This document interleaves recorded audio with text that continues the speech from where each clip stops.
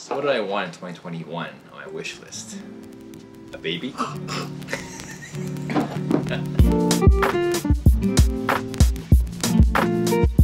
Hello guys, welcome back to the Victor and Sam YouTube channel. We are photographers based in Hong Kong. We cover things like freelancing, uh, photography, and just life in general in Hong Kong. Today's video will be covering a home and luxury wish list in 2021. Things that we wish to have but not necessarily need, but just really, really Nice. want it. We'll be covering three topics today, which is handbags. He doesn't have much input on that. Also, jewelry, watches, and home. As you guys know, we are currently renovating our house, so our list for that is going to be a lot longer than the other two combined. So let's get started. Our first category will be handbags. Okay, alright. I have a list of four bags that I want, but actually one of them I just knocked off my list this week. I will be doing an unboxing of this at the Chanel store this week, and our next video will probably be on another Chanel bag. Yes. Anyway, first bag that I've started thinking about purchasing is the Chanel Trendy CC in black or beige or brown. I'm quite flexible like that. Have you seen it? No. It is a top handle bag, but I love how you can also crossbody because there was a strap around it. And I started watching a lot of YouTube videos Like comparing. Okay, number two is a Loewe straw tote bag. That was Loewe. No, it's Loewe. Okay. Loewe. It's the bag, you know, with the brown leather logo on the front. I've been wanting it for a while now and the price around 3k HKD. I did look at it pre-loved, but um, the pre-loved price is also about the same as retail. I just haven't got it yet just because we have no place to go. It is really a beach bag and since we won't be going to Bali anytime soon, I just thought I'll just hold off until then. Number three is a wild card bag. I just call it the seasonal fun bag that I would love to get from Chanel. It doesn't exist right now, but I would love to add a like a fun print to my Chanel collection.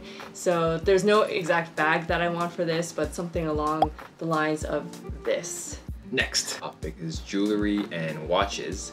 So I think one thing that we both want this year is to have at least a wedding band. We don't have rings yet on our fingers since we got married uh, last year. And that we can represent our marriage and I guess Not signal love. that we're taken and Yeah, off, especially you. off the market because I'm, I'm still single actually. I have no ring on my finger. But yeah, we want rings. I think we'll just get it custom made since we got the engagement ring custom made. I think I want a not very shiny, maybe more matte, dull looking kind of ring. Dull looking. maybe To like a symbolize our marriage? like a silver or I guess gold would be nice, but I feel like gold's a bit tacky. Excuse me? I would like a ring, I think, to match the radiant cut something along the lines of baguette diamonds going horizontally around the entire like ring. four rings here, five rings. Yeah, a girl can never have. That's there. why you have 10 fingers. It's like brass knuckles now. Al- along the lines of rings, I would love something from Cartier, and I've been looking at the Cartier Love Ring, just not as a wedding band, but just as an everyday accessory. I haven't really looked at the sizes and anything mm, yet, Or the so- price. or the prices. and lastly, I would like a Cartier watch. I haven't done a lot of research yet, so I can't really make an informed decision on which one I will purchase, but I have been looking at the Ballon Bleu in gold. Tried it on like a few years ago and I really like the round interface, but actually lately these days I've been thinking about getting a square or a rectangle face. this so square. Getting either the panther or the tank but honestly i'm a bit intimidated to go into the store and try so uh, maybe one day i'll just go in with one of my girlfriends to take a look and try on the different styles And they can pay for it too. Next topic is home goods and things that we want after we move back into our newly renovated home. And the top thing on my list is Philips Hue lighting. I think it's so cool just having lights being turned on by voice commands and on your phone just like turn on lights and then use Google or use. Siri just like be like hey Google turn on lights and then come home with like bright lights in the washroom or the living room the kitchen and plus you can even change the colors of lights so when you're watching a movie you can like change the lights to the sound So we do have uh, a whole home system of Sonos for our sound system, so why not also sync that with our lighting system? Yeah. This actually is a must-have item for me right now. Out of everything on this wish list, like Chanel bags, maybe in the future, maybe next year, next month. My birthday's coming up. But you just got like how many? A girl can never be at first piece. The item that I really want for our home is a KitchenAid stand mixer. As you guys know, I love baking and all these years I have been using a hand mixer. Yeah.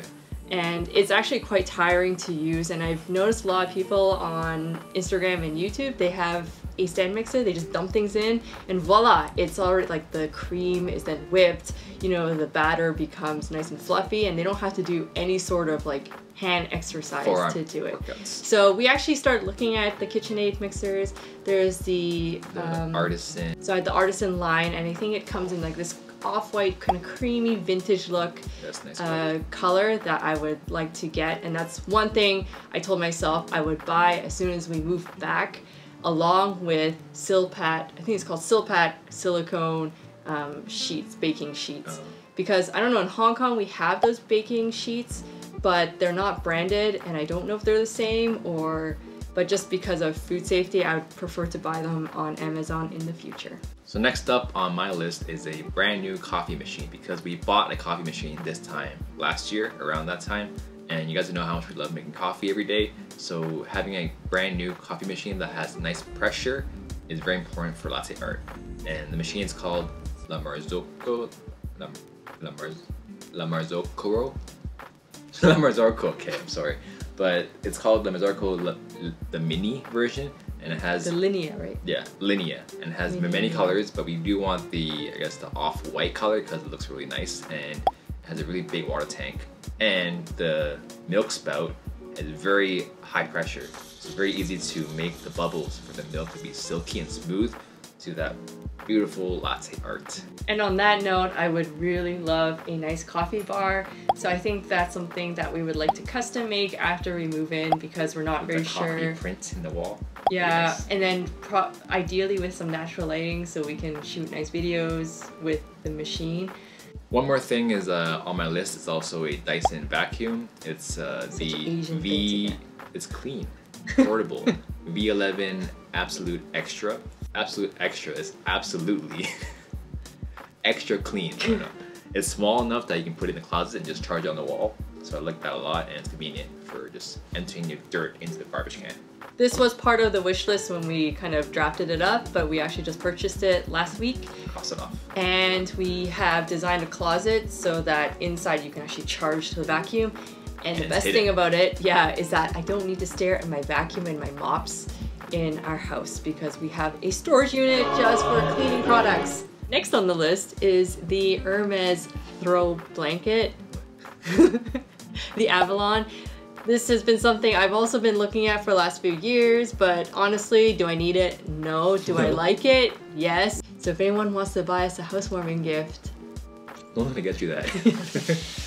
so one last thing on my list that I think I should and must have this year is because we do work a lot at home and we do sit a lot on these chairs that are not supposed to be chairs for working on, is having a proper ergonomic chair and desk saw a brand called Hag. They're called the Capisco chairs, and they're made for back support, and you can sit on it from front and back. And it's leather. It's brown leather, which you like too. Well, you have a there is a fabric version, but the leather version is. And they're super expensive. Yeah, how much? But uh, like 20 something k. But it's yeah, it's pricey. Half a Chanel bag. Anyways, but it is good for the back and for long periods of hours of sitting. So I think also having a standing desk, which is a button to go eh, eh, is good to have because you can stand and also sit whenever you feel like it. And last but not least, and this is one item that we must get, is a dining table. I've been living in this place for about six years and I've gone through a couple of dining tables. First one was a circle concrete one. It was very unstable. Second one, I just made one. I ordered a piece of wood from Wan Chai uh, Renovation Street and I just put two IKEA legs on it and I just velcroed it, on there. it was so wobbly and, and it was start like, bending in the middle. It was like the it's such a bad idea, but I was not I was having commitment issues with the length and stuff. So that's why I got it. Then thirdly, we got a uh, IKEA, that round IKEA white table. table that you see in our videos, and it was donated from our friend's office. But the more we used it and the more times we pour coffee in it, you would see it Yeah. start cracking. Yeah, Every bad. time espresso hit it, it would immediately stain. You would have to get like bleach to get the stains out. So when we started renovating, we told the construction workers we don't need this table anymore. You just toss it out, and it's it's also very unstable too. So my dream table, I've mentioned it in my stories before, is a long six to eight person oval table, preferably with elephant legs in a brutalist style. I don't want hairpin legs. I feel like I've seen them too much. And I just want something that looks very sculptural, substantial, but light enough so that we can move it out of Moving around. move it around for photo shoots because there there's going to be like this long wall that we can take photos at.